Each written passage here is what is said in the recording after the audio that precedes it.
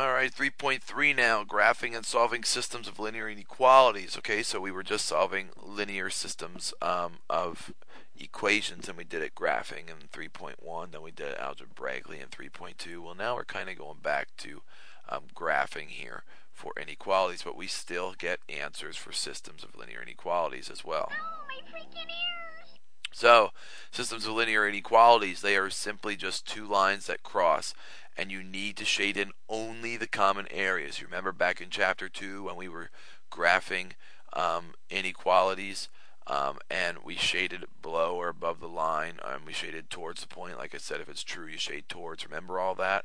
We're doing that again, except now we're only going to shade the areas that are in common. Those are the areas that we're shading, the areas that are in common. Pay for your purchases and get out and come again.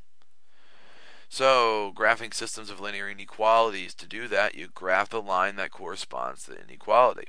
And remember, this is stuff from chapter 2 again. If it's a less than or greater than sign, it is a dashed line. And if it's less than or equal to or greater than or equal to, it is a solid line.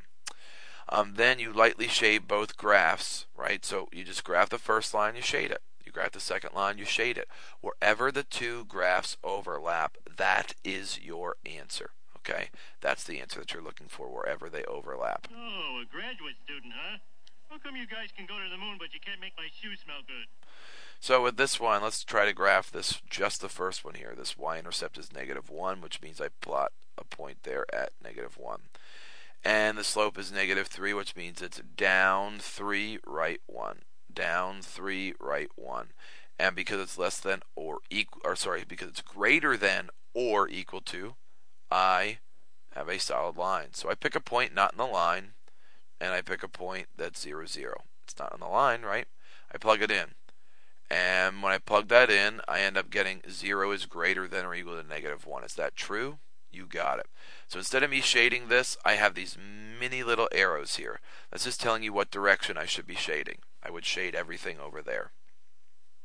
Next up, I graph this one. So the y-intercept is at positive 2 and I go up one over one, up one over one, up one over one. But because it's less than, it's a dashed line. So that's supposed to be a dashed line there, not a solid line. That's supposed to be a dashed line. So keep that in mind. And um, what we want to do next is shade. So I'm going to pick a point not in that line, which is 0, 0. So is 0 less than 2? That's true. So I shade towards the point. So notice how I'm drawing the lines down here. Now, where are those two lines crossing? Like, where are they crossing at? Right here, right? In this area. I have shading everything here and here, which means I only shade in that little area over there where they overlap. And once again, keep in mind that is supposed to be a dashed line there. That's supposed to be a dashed red line. So graphing this, the line x um, equals 0 is actually this axis right here. So if I was to graph that line, all I'm actually really doing is drawing a line straight down. So um, that line goes right there, and y equals 0, that line goes right here. So let's rearrange and solve this one right here, because this will be the most difficult one to solve for anyway. So to get y by itself, I'll subtract a 4x on both sides. Um, and by doing that, that means I have 3y is less than or equal to negative 24x plus, or sorry, negative 4x plus 24. To get the y by itself, since it's 3 times y, I would divide everything by 3. And I end up with y is less than or equal to negative 4 divided by 3, and 24 divided by 3 is 8. So if I go to graph that, um, what I have here is I'm going to graph this now.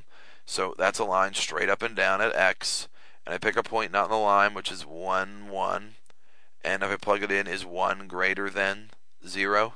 Yes, which means I shade everything in uh, the right direction. y is greater than or equal to 0. That goes in this direction, straight across, because it's a horizontal line at 0, 0. Pick another point not in the line. Well, that's 1, 1. So I plug in 1, 1, and is 1 greater than 0? You betcha. So, so far, this tells me that I would be shading everything up in this area, right? That's where those lines, the shaded areas are crossing. So this area is where I would be shading right now. So now I got to graph um, this line here. And that is a positive 8. So the slope is 1, 2, 3, 4, 5, 6, 7, 8. I put that there. And I go down 1, 2, 3, 4, and over 3 and put a point. Then I go down 4 and over 3 and put a point. Because it's less than or equal to, I draw a solid line. I pick a point not in that line, which is 0, 0. And I plug that in. And I find out, is 0 less than 8? Well, that's true. And since 0, 0 is right here, and it's not on the green line, I shade everything in this direction. Well, where does it appear as though everything's overlapping? Well, it's overlapping in that triangular area space there. And where all three of those lines overlap is where I have to shade in, which is that little triangle piece right there. hey, Go home. doodly doo. All right, so um, when I come back, I will uh, finish up here on uh, 3.3, uh, which is graphing um, systems of inequalities. I don't want to rush this next problem. I want to make sure that you uh, completely understand it. So we'll finish up when we come back.